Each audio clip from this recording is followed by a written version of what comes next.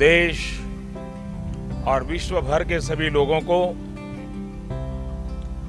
आठवें अंतर्राष्ट्रीय योग दिवस की हार्दिक शुभकामनाएँ। योग अब एक वैश्विक पर्व बन गया है। योग किसी व्यक्ति मात्र के लिए नहीं, संपूर्ण मानवता के लिए है।